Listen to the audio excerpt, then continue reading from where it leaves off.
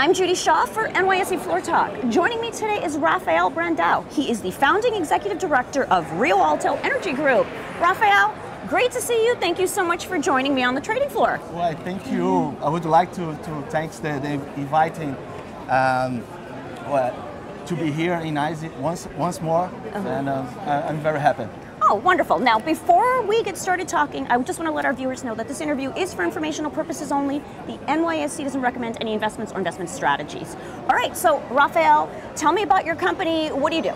Basically, Rio Alto is um, independent um, renewable energy in platform in Brazil. Uh, our focus in um, uh, uh, operating assets, power plants, solar power plants in Brazil, and energy transition. Okay, now tell me, what are the company's plans for the coming years?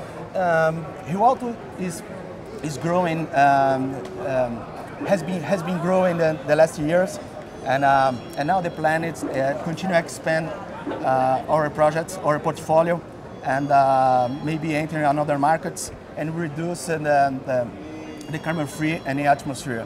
Okay, so tell me, what opportunities do you see in this segment?